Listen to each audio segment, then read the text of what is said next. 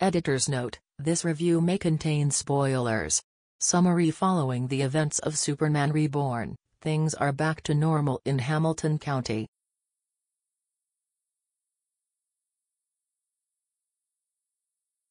Or should we say the new normal, as the new status quo is unveiled. Superman and family take some time to adjust and enjoy their situation. However, their rest is interrupted by a visit from Batman and Robin.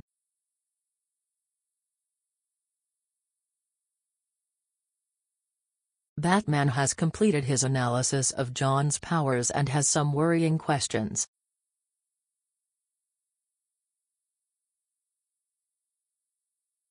Positives As much as I loved Superman Reborn, it left me fearing that the merging of the new 52 and classic Supermen's histories would lead to Clark, Lois, and John living in Metropolis, with no memory of Hamilton County.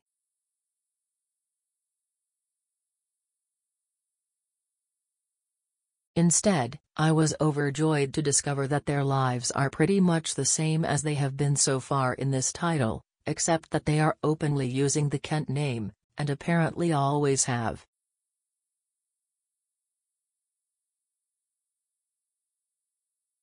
Superman spends the first half of the story basking in the joy of the life he has established, which is made sweeter from knowing that this world is his home and that he is this Earth's rightful Superman.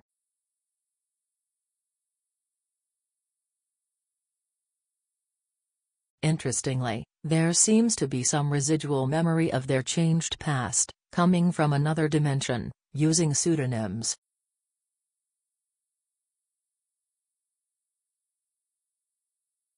But Clark reassures Lois that they will figure it out. It's always good to see Batman and Robin show up in this book. The dark and brooding pair complement Superman and Superboy's bright optimism.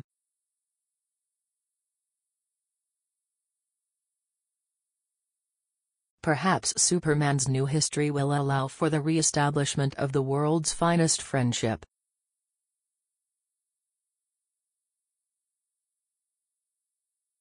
One interesting tidbit was Batman's observation that Jon being half human, half Kryptonian should make him much more powerful than his father.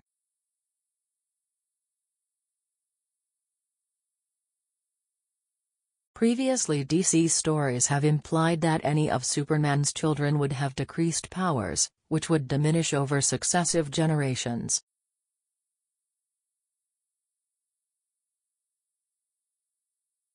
This new idea that human DNA could complement and increase Kryptonian abilities is fascinating.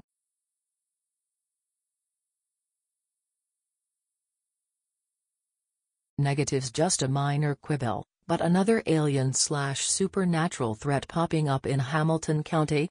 This is starting to strain the suspension of disbelief.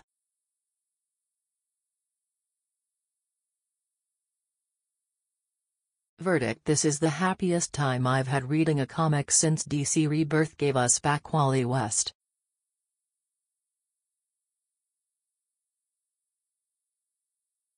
This title is the heart of the DC line, and has established Superman, the character, as the heart of the DC universe.